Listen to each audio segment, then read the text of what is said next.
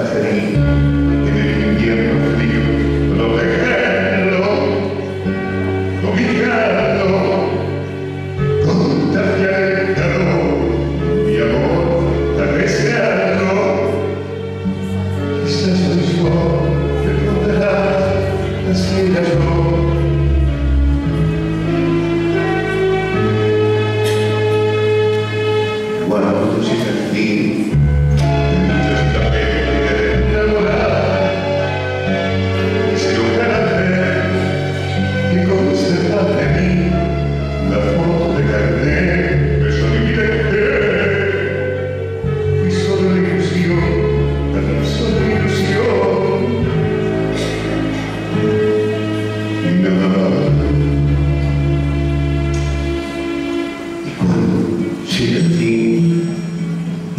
Μίτσος Ισαφκύρη και η Κατερίνα Κοντά